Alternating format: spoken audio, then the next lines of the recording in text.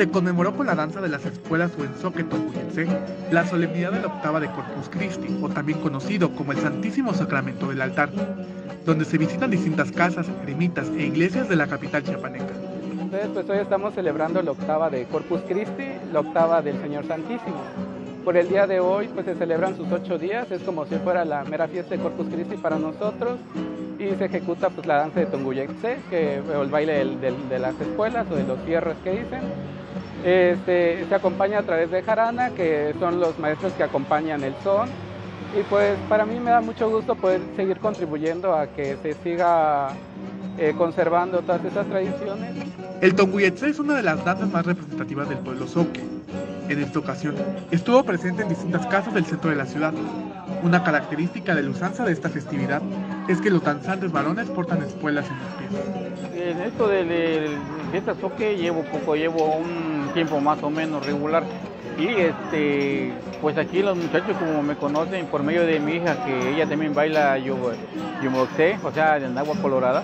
Por ese motivo ahí, ahí nos, me incluyeron también, como me gusta, nos gusta la, todavía la, los soques, los bailes soques y todo eso.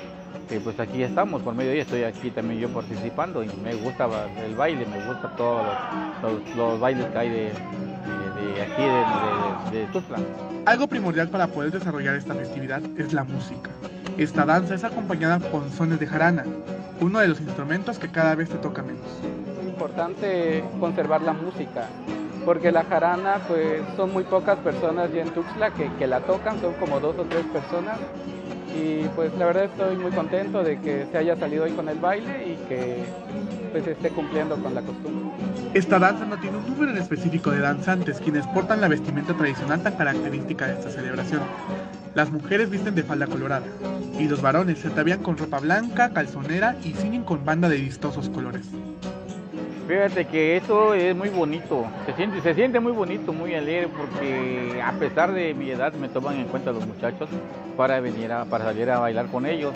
Entonces es una alegría y una satisfacción para mí estar aquí.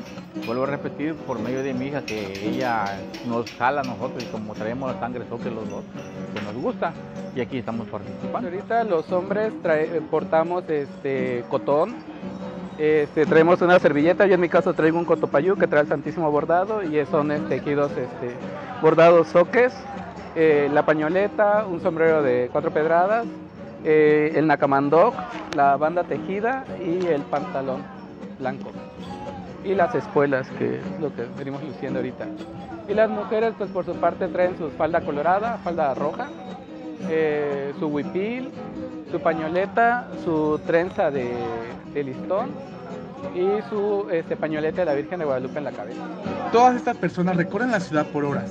Este año tuvo como punto de salida la casa del maestro Cecilio Hernández, que gustosamente recibe a los danzantes para iniciar con este recorrido, que año con año visitan las casas de las personas que siguen el costumbre.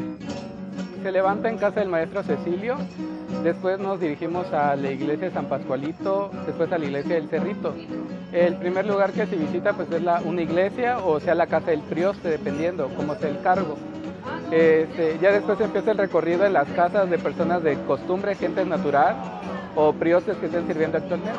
Es gracias a los distintos grupos tradicionalistas que existen en la ciudad que se pueden preservar y difundir estas danzas, esencia del pueblo soque que aún existe en la ciudad de Tuxtla Gutiérrez aquellas personas que les gusta el baile, si quieren participar, pues adelante, puede, pueden preguntar con, eh, por ejemplo, ahorita que andamos acá, porque no tenemos un, no tenemos un nombre, no tenemos un, somos una asociación civil y pues todos estamos así, ¿no? Que nos invitamos y tal, y ya sabemos las fiestas y todo, y ya, ¿no? Y sí sería bueno de que todas aquellas personas que vienen en su, en su automóvil, que se hicieran un ladito, cuando se esperen para pasar. Cuando nos vean en la calle, por favor, respétenos, porque hay mucha gente que pues, no tiene educación vial.